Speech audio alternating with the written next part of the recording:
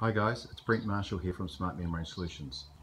The purpose of this video is to illustrate to you our membrane removal toolkits. Over the years we've been selling membrane accessories to the dairy, food and beverage sectors. And we've noticed concern is raised around how to service them and get the membranes out safely and how to make this job easier. To do that we've come up with some really smart tools. Uh, you'll see some illustrations shortly which show you how to get the end caps in and out of a membrane pressure vessel how to safely take ATDs and blank end plugs off, and how to also pig out membranes that are really, really hard to get out. Okay, firstly, let's have a quick look at what's in the membrane removal toolkit, shall we? The first item is the ATD removal tool. This tool's been designed with adjustable legs so that you can set up this tool to be able to remove many different suppliers' ATDs. The next part is the end cap removal tool. This plate is used to jack out the end caps in combination with the extractor screws. We have three different extractor screws, M10 thread, a quarter inch UNC thread, or an M6 thread. So depending on which housings you have in your plant, will depend on which one of those you use in combination. The next thing we have, we, we have four push rod tools to enable you to be able to remove and push out up to five elements. The, the push rod has an end cap which screws on just like that.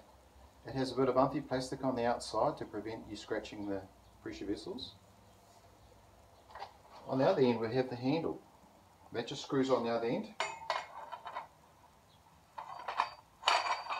And then you're ready to push out your first membrane.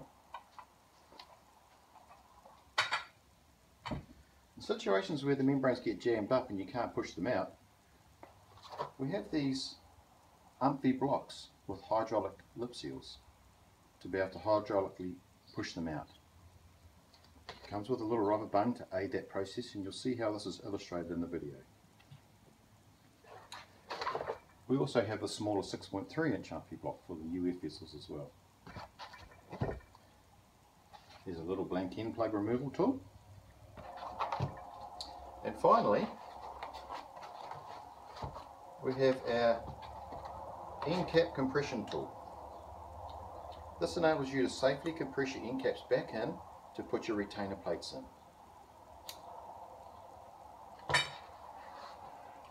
Okay, to use the blank end plug removal tool, we just put the keyway on the plug, drop it down,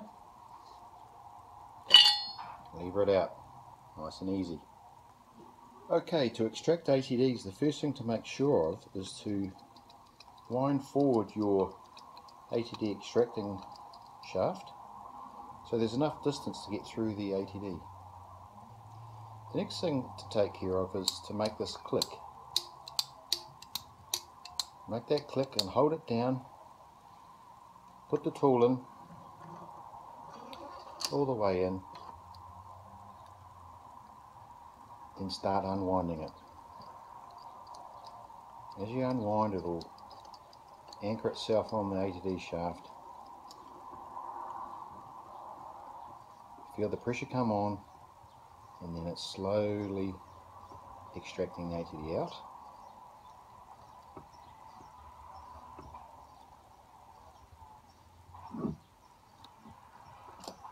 And there you have it.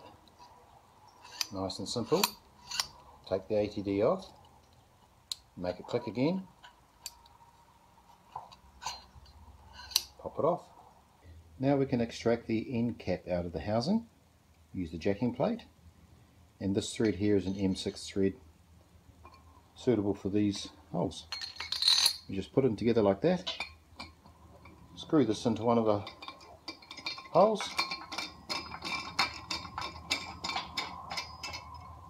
do the nut grab yourself a three quarter inch spanner and you'll see the end cap will start to ease out. This is just simply jacking them out.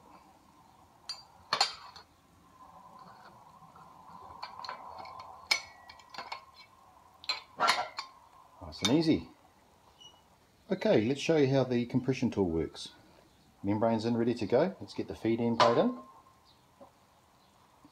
Got to position it best you can.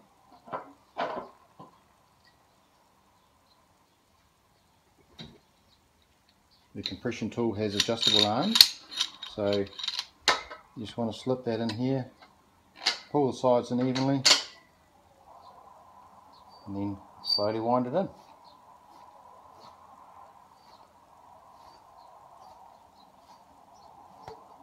A lot easier than using hammers. Once it's in, you just release it. Simple as that.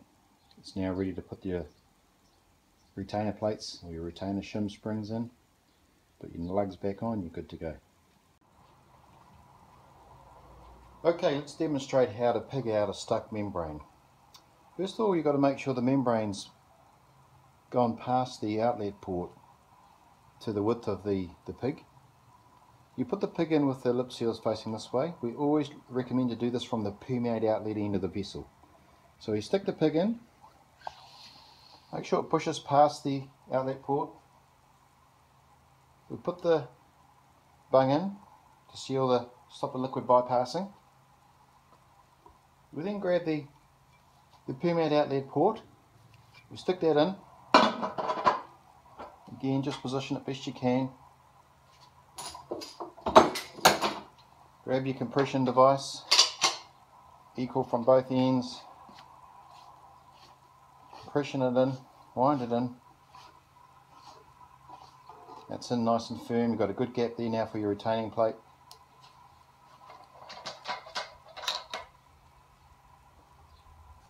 You should then put your shim plate back on.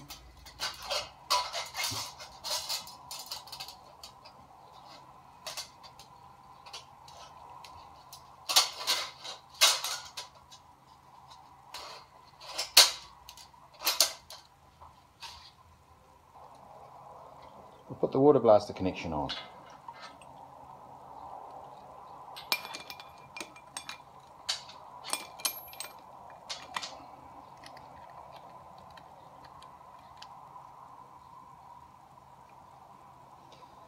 Now the end of this goes to a little domestic water blaster.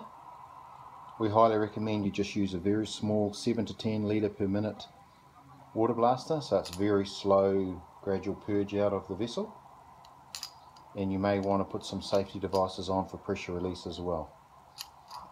We don't actually supply these fittings because uh, every customer has different type of water connections and water blasters so we do have some written uh, recommendations on how to do that and they're available on our website.